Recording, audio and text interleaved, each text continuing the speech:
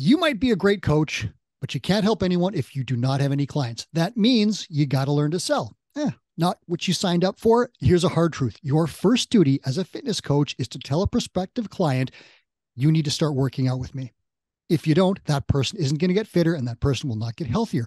Today on Run a Profitable Gym, we're going to talk about sales. Now, it's not slimy, dirty, horrible sales that we all hate. This is selling to help people, help people get fitter, help people get healthier. I've got one of the world's top gym owners here to give you some tips. Before we go further, please hit subscribe. I literally believe that you can use this show and all the episodes around it to improve your business and create the life that you want. So don't miss a single one. Hit subscribe now. Okay, on to my guest. Nate Muller owns Green Lake Strength and Conditioning in Seattle, Washington. His gym appeared on all three of our sales leaderboards in May. The first leaderboard is set rate. That's the number of people who book sales appointments to come see you and talk about joining your gym. The second, show rate. That's the number of people who book appointments and show up. It's almost never 100. Some people get very close. Some people have really bad show rates. No one on our leaderboard did, of course. Final, close rate. That's the number of people who book appointments, show up, and buy something. Now, Nate was on all three leaderboards. In fact, his stats were he had 36 people set appointments, 33 showed up, and 28 closed. Those are huge, huge numbers. Can you imagine having 28 new clients at your gym? So, Nate told me he's going to share his secrets with you. Nate, welcome to the show. Thanks for being here. Hi, Mike. Thank you. I can't wait to dig into this. I always love it when I get to do this show and then there's someone who is on all three leaderboards because it shows kind of excellence across the board. So I'm just going to dig right in and we're going to get to the details here. Bring me to the top of your funnel. What is the number one thing that you did to get so many appointments based in in May? Like where do these people come from? Yeah, good question, Mike. So most of my clients are coming from web search, although it is pretty close uh, to people just coming by my location. I'm lucky lucky to have a pretty high trafficked location the visible front. Um, and so I bring in quite a few that way, as well as by referrals. Um, Ooh, there's a good one. Yeah, so those obviously help as well. So obviously that all starts with having a great service. Um, but going back to the web search, I do believe that one of the main reasons I'm doing as well as I am on web search is actually due to um, following up on asking my members for reviews. Okay. Um, so that's a big part of my my weekly routine. Okay, so I'm going to dig into a couple of things there. Uh, you're so you're talking. Do you put ads behind this web search? Like, are you popping up in Google uh, as a sponsored thing? I don't really. I've played around here and there, but I, that's not a significant portion of my um, incoming. Okay, so organic search brings a ton of people to your website.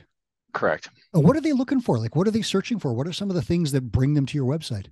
Yeah, well, so interestingly enough, um, most of my uh, people are just looking for the name of our business. So I think there's actually, uh-huh. but there's a decent mix in there. Um, after that, they are actually looking for uh, generally a CrossFit gym in my area. We're not okay. actually CrossFit, um, but we come from CrossFit roots, mm-hmm. Um, so that's a big hit. Um, but then a lot of them are just looking for a gyms near me in in Google local search, which I th- which I think is where I'm performing um, really well due to those okay. Google reviews. Yeah, so you've done a good job of building up some organic SEO, search engine optimization, as we call it. And people are finding you when they're looking for gyms near me, which is a huge, huge deal. At local SEO, John Franklin, our marketing head, talks about that all the time.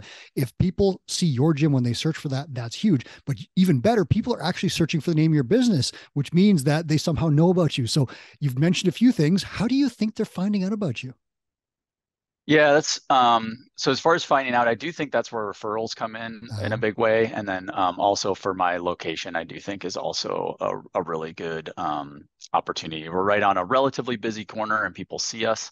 Um, and then that's where, again, kind of tying it back to those reviews, I think you have to uh, support that with um, good, authentic marketing that I think in the form of those customer reviews is really key.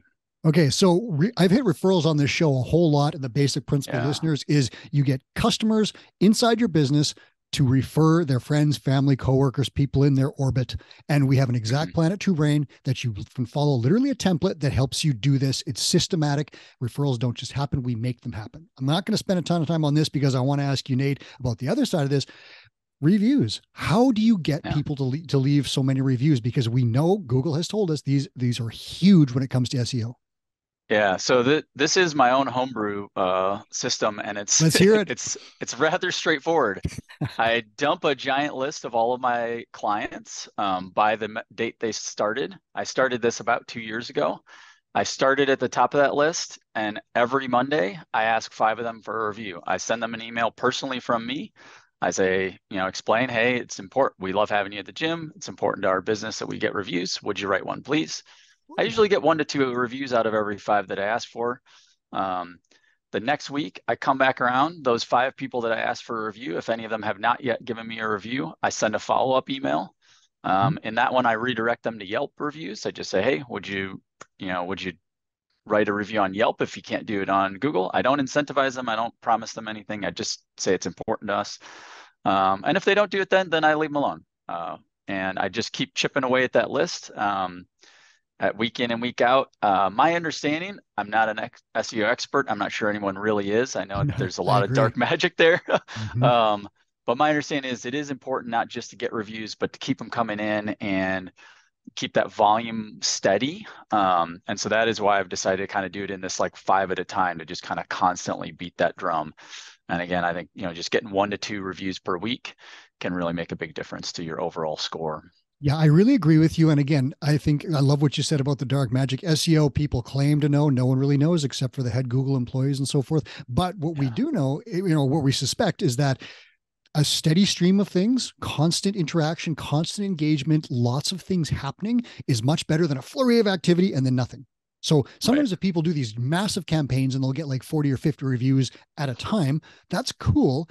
But what happens when a searcher comes to that page and sees reviews from like two years ago and there's 40 or 50 of mm-hmm. them? It's not the same thing as like a constant stream. So I love what you're doing there. And again, who knows if, uh, you know, Google approves of that as well. But I suspect that engagement, just like it is on social media, constant engagement, constant publishing, constant interaction is a much better thing to keep the snowball moving than flurries of activity. So you actually, you don't just outsource this, outsource this to a staff member or a bot, like you personally email your members and ask for this?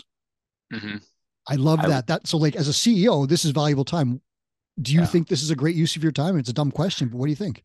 No, it's a good question. I mean, I, I do think it means something different coming from the business owner. So that's why I've continued to keep this task myself. I have some plans to to spread it out a little bit and automate it a bit, but I'm pretty tentative to automate it because I I just don't think people respond as well to automation as they do. Like you can tell the difference between being emailed by a bot. Even though I use a template every time, it doesn't take me that long. Um, but I literally click send on every single email. Yeah. And I'm sure from time to time you're like, you know, this member, like, oh, Tim, I saw you back squat 220 yesterday. Congratulations. I'm sure you can tack that yeah. stuff on, right? Exactly. Yeah. It does yeah. give me that opportunity to personalize it just a touch that makes a difference. And that touch, I would, I would suggest is probably the most important part because the mm-hmm. temp the cut and paste you know people can smell that kind of stuff a little bit of human touch is going to make a huge difference and it's like oh he remembered that and he's congratulating me i might be more inclined to leave a review so when someone leaves a review do they get kind of crossed off the list and taken out of that pool or how does that go yep. Yeah, so I manually keep an eye on that too, which yeah, is that's probably the most annoying part of the process is actually just remembering to see that they wrote a review. I, I always reply to their reviews to thank them. I thank them in email, and then I have to go back to my spreadsheet and mark that they did it, so I know not to bug them again. But right. um, again, for the overall value that I'm getting, as best I can tell, I'm the best review gym in Seattle. Um, so it seems to be worth it after a few years. Do you know offhand how many reviews you've got up there? I think I'm around 180 right now. Wow, that is huge, and they're all spaced out in intervals of like a week or so. Exactly. Yeah. Yeah. Here's a, a nice question I got to ask: Do you ever get a bad one? You know, I've gotten one or two. Yeah. Um, and I try to respond really professionally when I do. Mm-hmm. They've never come from me asking. That's usually when we made a mistake, right? yeah.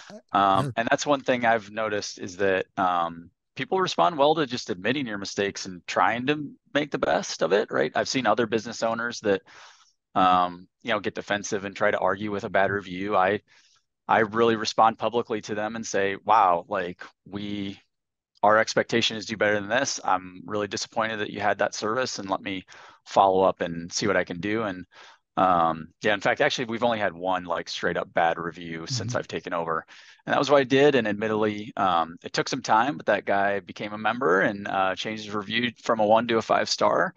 Um, really? And I never asked him to do that either. I just, you know, I, I, I just, I, I was, I already was aware of the issue and, and following up with him anyhow when he wrote the review. Um, but then I continued to kind of persist and like not take it personally and just work through it with him. And um, and he's you know he's become a great member. So. Ooh, so I'm going to point out two things for listeners here. The first is get reviews, do whatever it takes. A simple system that Nate laid out is just email five members a week and ask for reviews. Yelp, Google, Facebook, whatever. Get some reviews. That is a huge thing that you can do. It's very simple. It doesn't take a ton of time, but it will have measurable results. Organic SEO without spending money. That is, there's a huge value on that. The second thing that you can do, if you get a bad review, don't sweat it. You can definitely look at it professionally and say, is there something that I can take from this to improve my business? If there is, do that and take those corrective measures. After that, respond professionally, move on. And in some cases, that's going to make it be enough to like make that person happier and change it. In other cases, that negative review may stick there. But if you went to a gym website and you saw 179 positive reviews and one negative one, what would you think? Eh, one unhappy person, maybe a little bit of a jerk, whatever. It's buried with the other reviews. So don't sweat that one bad one. Now, Nate, I'm going to ask you a little bit. What you, exactly are you doing at your gym? Like you've got you've, you've yeah. got. I'd like to know the basics. Like where are you at? What do you sell? Who's your ideal client? Yeah, good question. So um, our ideal client is someone kind of in their middle ages, kind of 35 to 45. We obviously serve people across all, all adults. We're primarily focused on adults right now. Um, and they're a working professional. Generally, they're a parent, maybe with young kids. They're very busy and they want to come in and get a good, efficient workout um, and not get hurt, right? So they're not trying to win any competitions. They're not trying to, in a lot of cases, they're not even trying to set PRs or anything. And they might even be here for their mental health as much as they are for their physical mm-hmm. health.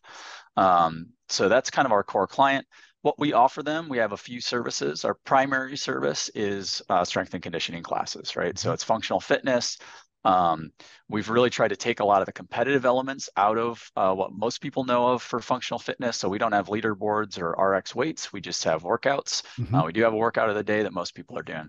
We also offer our individualized design program. That's meant to meet people really exactly where they're at and design a program just for them. Is that so PT kind of, like one on one? It's not one on one. So it's kind of in the way that you deliver one-on-one training. It's most similar to semi-private training if you gotcha. uh, if you're familiar with that, um, but it's a little bit different in that um, you have a coach developing a program for you, like in semi-private training. It might be delivered by any one of a couple coaches in our gym, so it's kind of a like sh- shared semi-private training in a way. Uh, so we have run classes of four to six, um, but a little more of still teaching the member how to do the things on their own. So not counting on a coach to like literally walk them through every exercise, but building a program, building accountability. That is our big area for growth right now. That's the pro. That's a newer program for us, and that's where I'm really trying to build my business. Um, I'm currently at about 250 um, active members on the group side, like just the regular group strength and conditioning. And that's about as many as I can handle in those classes. And so I'm really trying to grow the individualized design program. Okay. And how many square feet have you got? We're about 4,000 square feet. So okay, it's not a lot members? of space. Yeah. About a dozen. Okay, so you're maximizing uh, like 4,000 square feet with about 250 yeah. people and about a dozen staff members. How many of those are full or part time? They're all part time. Okay, cool. And and you're the you're a full time now. Do you still coach and do things on the floor, or are you the CEO? I'm more in the CEO role. I coach a little bit again to just to stay connected, but I coach you know two to four classes per week, depending on who's sick or um, you know out of town or whatever. Right. Okay, so I wanted to give people a lay of the land just so when people listen yeah. to you, they understand exactly what you're selling because it's not uncommon in the micro gym what you're doing. Very similar. You mm-hmm. got some group stuff, you got some semi-private stuff, which is personalized programming delivered maybe in a small group setting, but people are getting individualized programming. We have lots of podcasts on semi-private training. So if you listeners are interested in that, check some of those out. Now, three of the bookings we know how you're getting people they're contacting you either through direct through referrals which are you know slam dunks for the most part or they're coming at you from google which is fantastic as well. Three of the bookings didn't show for you but that's a huge number because like i've had times when i've had like i don't know 60 leads and like seven show up something like that. So what is your process for ensuring that people don't leak out at this stage of the funnel yeah, so that one is uh, automated in that they get an automatic text three days ahead of time and one day mm-hmm. ahead of time to remind. Um, then we do also follow up. Um, so in the event that someone doesn't show, we do follow up. So when we do look at, you know, the three that we missed, those mean they they missed throughout the month and we never even got them back in. So we mm-hmm. we probably have more than that that missed their first appointment, but then we work really hard to try to get them back in again we try to be understanding we aren't like blah blah blah you didn't show up you know we're like hey bummer we know life happens please we'd love we'd love to talk to you come on back in here's how to reschedule um, so we do have a follow-up process as well if people do miss so listeners follow up. Don't just assume that a booking is going to show up. You can automate this process. You can also add in human touches. There are people that I know that will do when they see a booking show up, they will send like a video text confirmation. Hey, I saw you were on our website. I can't wait to meet you. This is the details. Text me at this number, whatever, send. And they have some of that can be automated, but other times they're doing it manually. Whatever you're doing, make sure that you are telling your leads, I can't wait to see you and follow up. And if they don't show up, they're not gone. You can keep after them. Now, Nate, does it feel weird at all to like quote unquote hound someone when they haven't showed up? Because for me, that was tough to get over. How do you feel about that? Yeah, I've tried to remind myself that hey, like I, especially since we don't do a lot of lead gen, right? Like these people went through a lot of trouble to find us, to decide they want to work with us and create an account and all that. That they've done quite a few things to even get to booking an appointment with us. So yeah, I try to just remind myself is like they wouldn't be doing this if they didn't want this. And we are all busy. And so um, we need to just keep ourselves top of mind. And so I just kind of think about it as helping them achieve the goals that they clearly express interest in uh, by keeping us top of mind for them. Such a great way to put it because if someone goes through the steps to book an appointment to talk to you and to come to your facility, that person wants and likely knows that that person needs what you are selling. And if you don't follow up with that person, you're not doing a very good job as a gym owner. And it's not hounding them, it's actually helping them. Chris Cooper wrote an entire book on this. It is called Help First. I would encourage you to read it. It will change your mind about the sales process. Let's get into that. So you've got now in the sales, uh, I'm going to just check my stats here. So you got uh, 33 to show up and you closed 28, a huge, huge number. How do you do it? Talk to me, talk to me about that sales meeting. What goes on in there?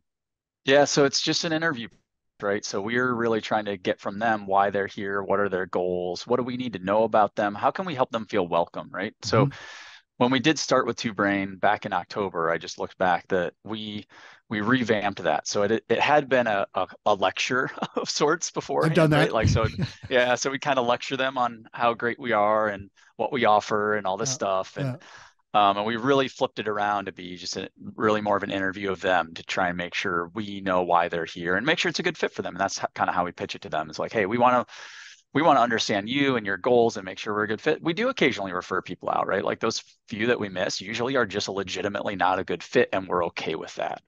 Um, so when we did switch to that, I did look back and we we moved from like about a 70 to an 80% close rate by just flipping the um, interview process or so a measurable around. bump just by changing things around yeah. you bumped up your close rate by 10% yeah. Oh that's um, huge. on average it moves from month to month right obviously but uh, yeah it was great. And and it made it feel less salesy honestly which was kind of fun. Like at first i was like i don't know if i i, I just tried it out because it had been recommended recommended and i wasn't sure but um, in the end it was like oh this actually feels nice. Like i just let them talk and tell us why they want to join the gym and and they get to do all the selling. I don't even have to do the selling anymore. Like they they do it for me. It's great. And that's the beauty of what Chris has put forward. Guy, yeah. Listeners, pres- prescript, pardon me, prescriptive model is what it's called. You have a conversation. You've listened to find out what these people want to accomplish. You tell them how to accomplish it through your business, and you slide over the price with a pricing binder. We have templates that we help uh, our clients use. You can create your own, make it very simple. And there are some things that we can do in there, but it's again, it's a simple presentation. It's not 35 pages of scrolling. You don't let them choose their own path. It's as simple as I want to lose weight.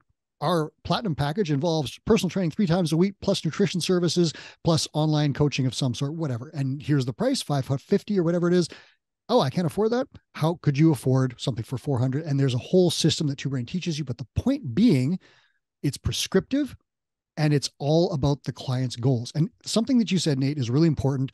I didn't realize this originally. If you're talking too much in a sales meeting, that's a huge mistake. They need to be talking. Do you agree with me? Oh, absolutely. Mm. There, there is that stat of like, it's not stat. It's a thing I've heard that like people tend to like you the more you let them talk, right? Yes. So you, you got to let them talk so they can enjoy their time with you. And when you were giving the lecture, because I did the same thing, it's like, here's this, here's our stuff, check out our thing, let's do a workout together. None of that gets to the root of their problems. I never asked these guys, like, why are you here? What do you want to accomplish? I just figured they want to do this hard workout. They want to see my cool equipment that I've, you know, placed in such an amazing manner and so forth. None of that mattered. If I just said, this, why are you here? I would have known so much more. You know, your lecture, was it all full of like X Fizz and like how great we are, that kind of stuff? Yeah, we would talk about our workouts um, and that we, you know, we do deliver. I do think we deliver a nice, unique version of functional yeah. fitness. And I think there are some key points that are different about what we do versus mm-hmm. others. But it turns out like nobody really cares about that the sales process, right? right? So we've now moved that into our on ramp process so they can, you know, understand yeah, why they're and that's where it belongs. Doing. Yeah. Yeah. Um, yeah. So do you do these sales meetings or do you have staff that does them? I've, I'm slowly transitioning out of doing the sales. So for a while, I was the primary salesperson. I, I bounced around where someone was doing it for me. I was doing them. I'm now trying to work myself out of that sales process. I have three other people now helping me with it through different times a day. Um, I guess that probably is in in um, a reason we're able to have so many is that I, I have built up a big enough sales team across a wide enough range of hours that I do mm-hmm. think that makes a material difference in how many people we're able to bring in. So I have people serving appointments in the morning and in the evening and throughout the middle of the day. And so, you know, that just makes it available to more people uh, to get more people in. So, listeners, I'm going to give you a quick summary here. Set rate. What Nate is doing is he is taking He's using referrals and organic marketing to get people to book appointments. He's got lots of appointment slots available with his sales team. So people don't have to be like, I can't make Thursday at noon. They can pick when they want and there's a person available. Now, show rate, he's automated much of that. You can figure out ways to do that that involves personal touch or automation. Whatever you do, you're following up with leads, making sure they show up in the closing stage that is in the sales office letting the people talk tell them they're going to tell you their goals you're going to lay out the prescription for how they accomplishment accomplish them. And then you're going to give them the price. They're going to sign up. And then you go through an onboarding process. Again, Two Brain has resources that lead you through every step of the way here. So if you're confused by it, a lot of it you can find in our blog, but there's even better stuff for our clients. They get done for you resources, plug and play, consultations with sales experts, all this other stuff. Now, I got to ask you this, Nate, because this is a huge one a lot of people who are good at selling, and I've talked to other gym owners on the show, are amazing at selling. When they try and pass that off to staff members, everything goes poorly, right? So how did yeah. you ensure that your close rate didn't plummet when you offloaded some stuff to other people? Yeah, um, obviously I trained them first, right? So mm-hmm. I, I gave it's not obvious to me. I, I screwed yeah, it up. Yeah, yeah, that's fair. Yeah, so I gave them a good template. I walked through it with them. We practiced some on our own. I had them sit in on some of my uh, appointments to watch. Um, and then I do track it, right? So I do use the mm-hmm. two brain template to look at my sales data across not just the overall month, but across each of my sales people. And I've kind of turned that into a little bit of a fun game with our, our people because I have made it clear to, to the sales team that like I'm, nobody's getting a bonus based on their close rate or anything, but we do look at it every month and we kind of like just give high fives to each other on mm-hmm. how we're doing, fortunately.